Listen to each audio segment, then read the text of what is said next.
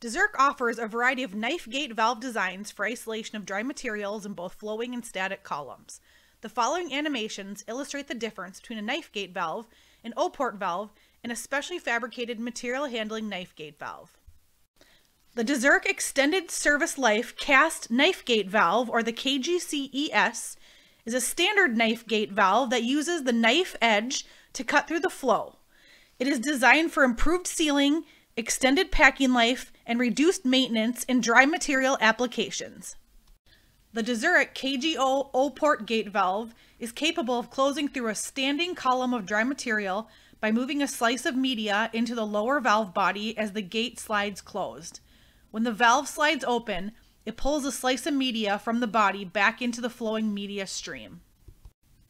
The Hilton dry material handling valve has a displacement pocket which enables the valve to close through a standing column of packed material. The tapered body and displacement pocket allows the material in this valve to flow out of the way, enabling the gate to fully close. For more information on gate valves for standing columns of dry material, contact DeZURIK today.